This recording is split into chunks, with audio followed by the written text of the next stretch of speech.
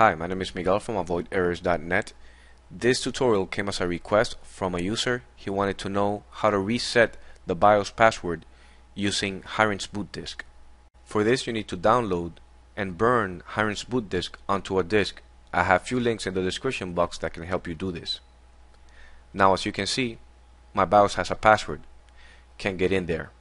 We can't get it into the BIOS to change the boot sequence, so now we need to go into the boot menu. Sometimes it'll say it like this, F10 boot menu. Different computers are different F numbers or F keys. Now, once you go into the boot menu, select the CD-ROM.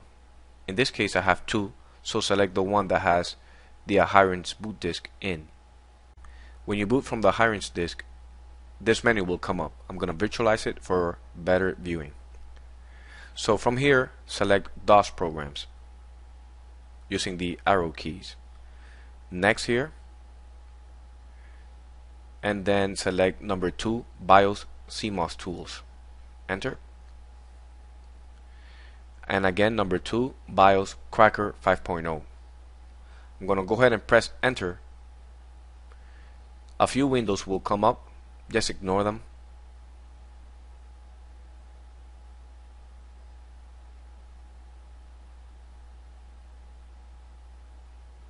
Again, press enter to continue.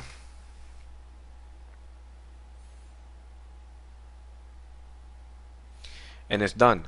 Now, from what it looks, it doesn't look promising. So I'm going to go ahead and reboot the computer and go into the BIOS again. And no, I still have the password. So in this case, uh, boot disk did not help me. I'm going to show you guys what actually works for me.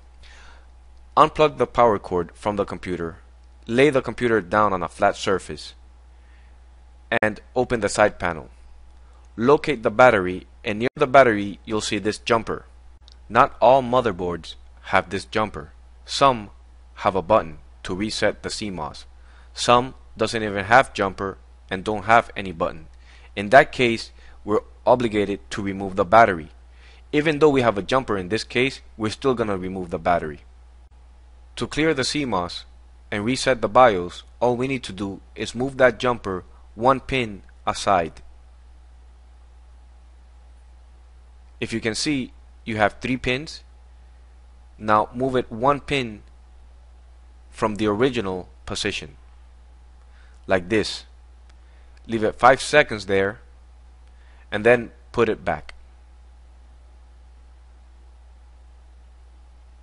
Since we have the computer open already, I'm going to take advantage of this and remove the battery. You should do the same too.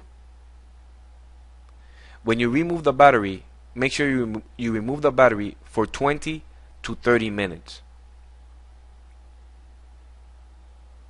Perfect. Wait a little while and put the battery back.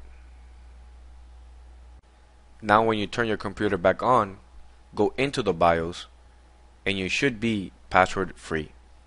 Thank you for watching this video. My name is Miguel. If you have any questions, feel free to post them in the comment section below. Thank you.